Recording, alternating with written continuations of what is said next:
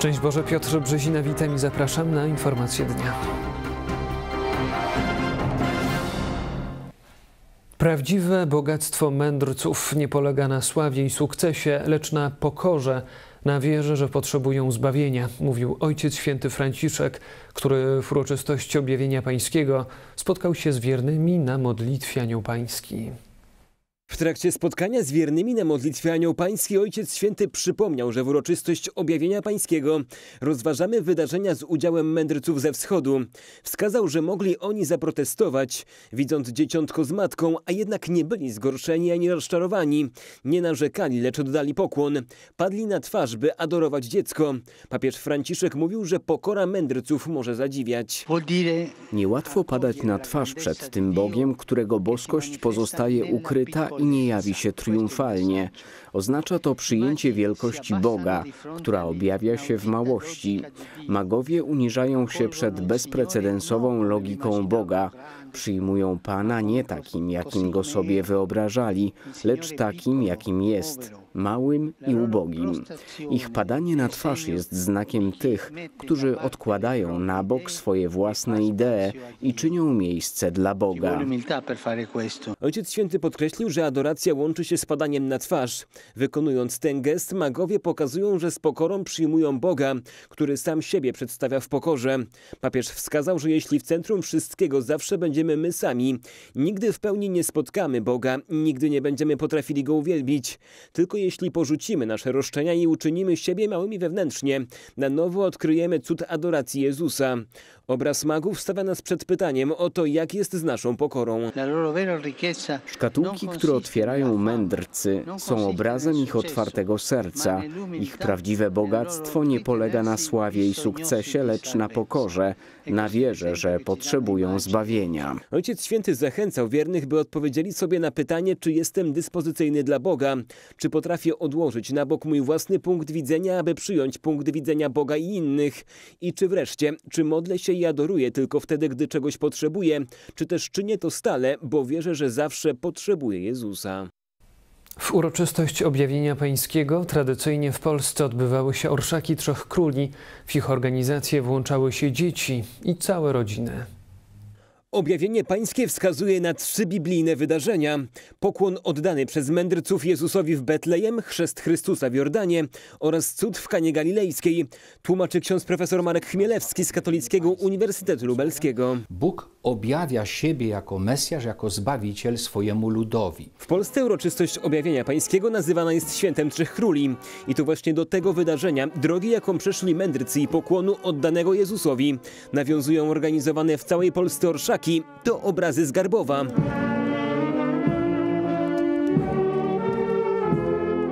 Garbowie dotarli trzej królowie bryczką w obstawie koni yy, powitać Pana Jezusa w żłóbku. A to już Warszawa i trzej królowie na wielbłądach. Dzień dziś wesoły, takie jest nasze hasło. Chcemy się cieszyć z tego i z, z tego święta, z narodzenia Pana Jezusa. Mówi koordynator orszaków w Warszawie Barbara Trzeciak. W wydarzeniu udział wzięło 100 aktorów, były też dzieci. Tańce anioła, smoku, smoka y, azjatyckiego, y, były, stały tam orszaki, oczywiście tak jak zwykle rycerzy azjatyckich, europejskich i, i afrykańskich. Zapytaliśmy najmłodszych, co najbardziej zapadło im w pamięć. Cechluli i anioły.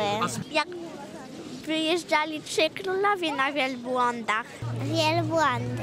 Orszak w Warszawie był świętem rodzin. Fajnie, że zbiera się tak dużo rodzin w jednym miejscu e, i dzieci mogą zobaczyć przedstawienia, w którym uczestniczą inne dzieci. Tak bardzo się cieszymy, że możemy z rodziną i tutaj e, ze znajomymi spędzić czas. To już Łomża i Orszak, w którym w rolę świętej rodziny wcieliła się prawdziwa rodzina. Chcemy być jak Maryja i Jezus i Józef. Chcemy być po prostu to, e, świętą rodziną.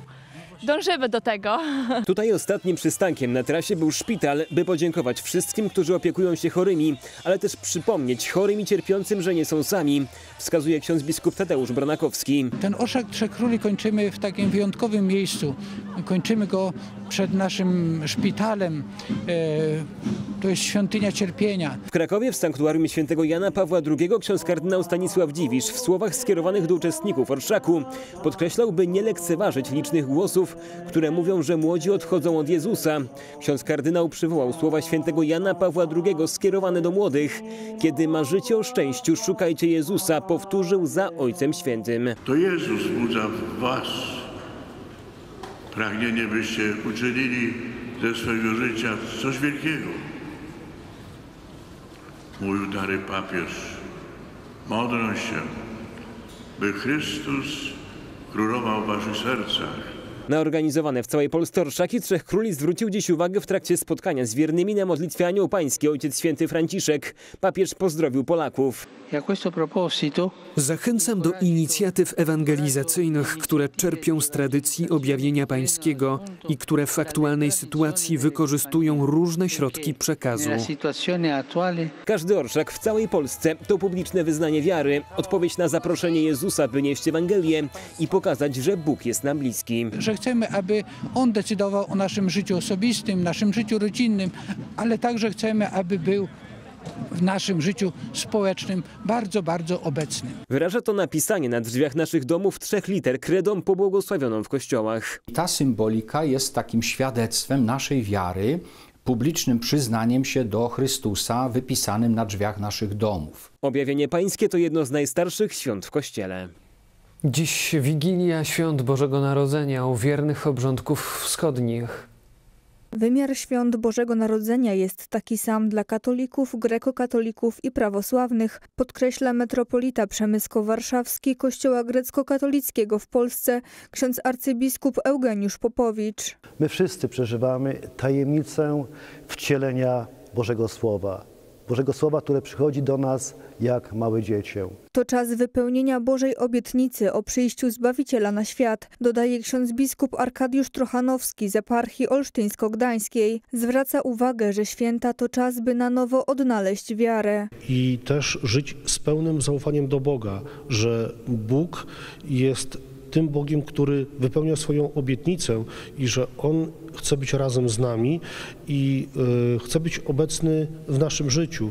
Wigilia Bożego Narodzenia u grekokatolików przypada 6 stycznia według kalendarza juliańskiego. Poprzedza ją 40-dniowy post, podczas którego nie można spożywać potraw mięsnych i nabiału. W dzień Wigilii wierni zasiadają do uroczystej kolacji, po której udają się na nabożeństwo z błogosławieństwem chleba, pszenicy, oliwy i wina, tłumaczy ksiądz biskup Trochanowski. Kolejnego dnia, siódmego w sam dzień, w sam dzień e, e, celebrujemy litu, liturgię świętego Jana Złotoustego.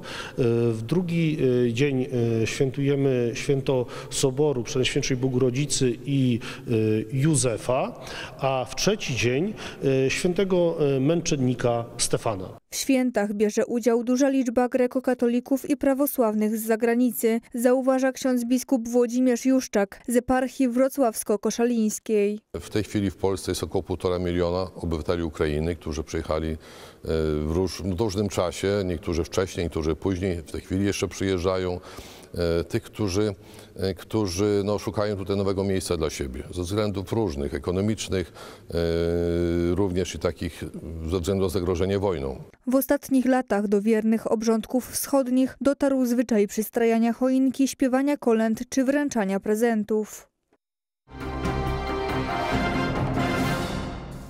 Narodowy Bank Polski notuje rekordowy zysk ponad 9 miliardów złotych. Z tej kwoty ma wesprzeć armię i pozwolić na zakup nowoczesnego sprzętu. Zastrzyk pieniędzy gwarantuje wojsku nowa ustawa o obronie ojczyzny, która niebawem może trafić do Sejmu. Ustawa przygotowana przez resort obrony i wicepremiera do spraw bezpieczeństwa Jarosława Kaczyńskiego zakłada wzmocnienie sił zbrojnych. W tym celu planowane jest zwiększenie liczebności armii do 250 tysięcy żołnierzy zawodowych i 50 tysięcy żołnierzy Wojsk Obrony Terytorialnej. Będą też zmiany w finansowaniu armii. Powstanie Fundusz Wsparcia Sił Zbrojnych przy Banku Gospodarstwa Krajowego. Jedną ze składowych funduszu będą zyski Narodowego Banku Polskiego. Przedstawiono ustawę o obronności, w której to ustawie jest przewidziane, że zysk Narodowego Banku Polskiego, poza tymi 5% przekazanymi, pozostającymi w banku, będzie służył naszemu wysiłkowi obronnemu. zakupowi nowoczesnego uzbrojenia. Wskazuje profesor Adam Glapiński, prezes Narodowego Banku Polskiego. W 2021 roku zyski NBP to około 10 miliardów złotych. Co z taką kwotą może zrobić wojsko? Oto przykłady. 48 myśliwskich samolotów wielozadaniowych F-16 kosztowało około 12 miliardów złotych.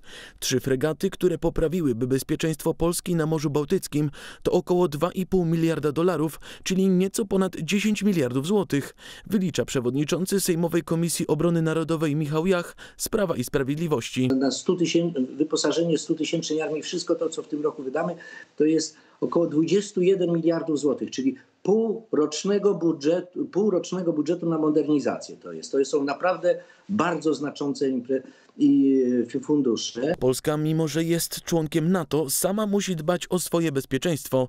Potwierdza to ostatni kryzys migracyjny. Czas, kiedy polscy żołnierze stali na straży bezpieczeństwa całej Unii Europejskiej. Przypomina ekspert do spraw bezpieczeństwa Sebastian Trojak. Realizujemy swoje zobowiązania. Jesteśmy wiarygodnym partnerem, wiarygodnym członkiem y, w Sojuszu Północnoatlantyckiego, ponieważ y, mając na myśli bezpieczeństwo Polski, mamy również y, na myśli bezpieczeństwo wszystkich członków NATO. Projekt ustawy o obronie ojczyzny jest na etapie prac międzyresortowych. Po przyjęciu przez rząd zajmie się nim parlament. Czekamy, kiedy do Sejmu trafi. Ja sądzę, że w pierwszym kwartale tego roku jest to realny termin, także myślę, że będziemy jeszcze tego roku mieli tą ustawę. Według zapowiedzi resortu obrony ustawa wejdzie w życie w lipcu. Szykują się duże zmiany dla wszystkich widzów naziemnej telewizji cyfrowej. Pod koniec marca ruszy proces przechodzenia na nowy standard nadawania. Warto już teraz przygotować się do tej zmiany, aby móc oglądać m.in. telewizję Trwam.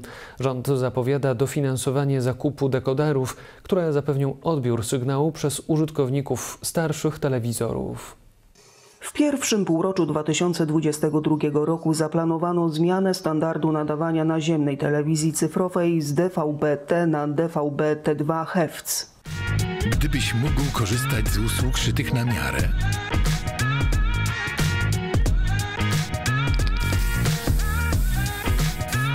Gdybyś miał jakość dla najbardziej wymagających. Zobacz to. DVB-T2 Hz. Nowy standard telewizji. Nowa telewizja cyfrowa to możliwość bezpłatnego odbioru większej liczby programów telewizyjnych w jeszcze lepszej jakości obrazu. Ta zmiana jest konieczna dlatego, że w wyniku decyzji Komisji Europejskiej zostały uwolnione częstotliwości do zagospodarowania pod rozwój y, telefonii komórkowej, pod rozwój sieci szybkiego internetu. Według szacunków ponad 2 miliony gospodarstw nie jest jeszcze przystosowane do odbioru naziemnej telewizji cyfrowej w nowym standardzie. Wielu widzów obawia się również, że straci możliwość oglądania swoich programów, wskazuje pani Teresa, która od lat ogląda telewizję Trwam. Oglądam chętnie telewizję Trwam jest taka wyczerpująca i interesująca, a teraz to, to nie wiem, czy to będzie, czy to mi wystarczy, albo jakoś, czy to nie wiem, czy to się nie zmieni, żeby było żeby było stale dostępne. Wszystkie dostępne obecnie kanały będą nadal dostępne po zmianie. Trzeba się do niej tylko dobrze przygotować, mówi ojciec Grzegorz Moj z telewizji Trwam. Nastąpi zmiana jakości y, odbioru y, telewizji. A z tym się też wiąże to, że musimy się do tego przygotować, kupując albo telewizor, który odbierze nam telewizję naziemną w Hewcu, albo kupimy sobie set-top box urządzenie, które połączymy z telewizorem, które na przykład dziś nie ma takich możliwości, żeby ten standard odebrać. Dlatego jeśli ktoś nie chce kupować nowego telewizora, wystarczy, że zaopatrzy się w specjalny dekoder, który nie jest zbyt drogi. Jego zakup dofinansuje państwo, mówi minister do spraw cyfryzacji w Kancelarii Prezesa Rady Ministrów Janusz Cieszyński. Wprowadzamy taki mechanizm, który pozwala na zrekompensowanie obywatelom kosztów tej zmiany. Uważam, że to jest uczciwe. No i ta kwota y, też y, no nie jest w mojej ocenie bardzo wysoka. 100 y, zł wystarczy na zakup takiego podstawowego y, dekodera. W związku ze zmianą pojawiło się wielu oszustów, głównie w internecie. Dlatego przy zakupie zarówno telewizorów, jak i dekoderów trzeba dobrze sprawdzić, czy dostosowane są do nowych standardów, mówi prezes Łokik Tomasz Chrustny że chcemy, żeby rzeczywiście ten proces przeszedł bez wprowadzenia konsumentów w błąd, bez nieuczciwych mechanizmów sprzedażowych i z korzyścią dla tych, którzy będą przez kolejne lata korzystali z tego typu usług i z tego typu sprzętu. Na stronie rządowej www.gov.pl cyfrowa TV znajduje się specjalny poradnik, w którym znajdziemy między innymi informacje o tym, jakie parametry powinien posiadać nasz telewizor do poprawnego odbioru naziemnej telewizji cyfrowej w nowym standardzie. Informacje, czy nasz obecny telewizor jest przystosowany do nowego standardu, można znaleźć w instrukcji lub internecie. Odbiornik powinien obsługiwać standard DVB-T2, kodowanie obrazu w standardzie HEVC, kodowanie fonii w standardzie MPG2 Audio Warstwa 2 i Dolby EAC3, standard HBB-TV w wersji 2.0.1 i wyższych, jeżeli posiada podłączenie do internetu. Proces wdrażania naziemnej telewizji cyfrowej drugiej generacji będzie następował w czterech etapach. Od końca marca do końca czerwca zmiany nie dotyczą widzów oglądających telewizję Trwam za pośrednictwem sygnału satelitarnego. Sąd Okręgowy w Ostrołęce wydał skandaliczne orzeczenie, w którym przekonuje, że rodzina to także związki jednopłciowe, a edukacja seksualna oparta na demoralizujących standardach WHO to nic złego. W 2019 roku powiat przasnyski przyjął samorządową kartę praw rodzin. Była odpowiedzią na promowanie standardów WHO dotyczących edukacji seksualnej dzieci oraz deklarację LGBT, forsowaną przez prezydenta Warszawy Rafała Trzaskowskiego. Środowiska skrajnie lewicowe umieściły powiat przasnyski w tzw. Tak Atlasie Nienawiści, przekonując, że prześladowane są w nim osoby homoseksualne. Samorządowcy zdecydowali, że będą walczyć o dobre imię lokalnej społeczności w sądzie mówi mecenas Paweł Szafraniec, reprezentujący powiat w sądzie. Nikt nie odbierał y, aktywistom LGBT e, krytykowania tego konkretnego dokumentu. Natomiast twierdzenie, że mamy do czynienia z obszarem nienawiści wobec y, osób y, LGBT jest całkowicie nieuprawnione i szkaluje dobre imię powiatu przasnyskiego.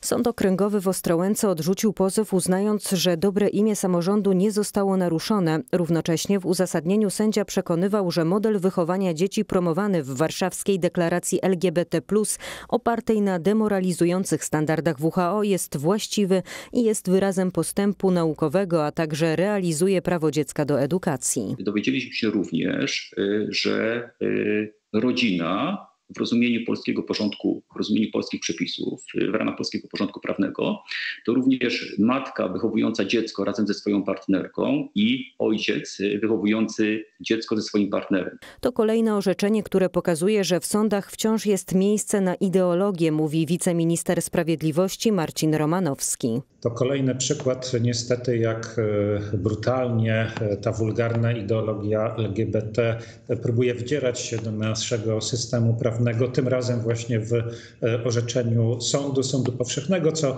notabene myślę jest też kolejnym przyczynkiem do dyskusji o konieczności wreszcie dokonania tej reformy instytucjonalnej wymiaru sprawiedliwości. Orzeczenie sądu w tej sprawie jest niezgodne z polskim porządkiem prawnym, zauważa prawnik dr Michał Skwarzyński. Istnieje taka zasada e, tak zwanego marginesu oceny, że w kwestiach światopoglądowych i w kwestiach e, takich spornych moralnie, etycznie, e, pierwszeństwo zawsze ma orzecznictwo sądów krajowych i orzecznictwo Trybunału Konstytucyjnego i Sądu Najwyższego.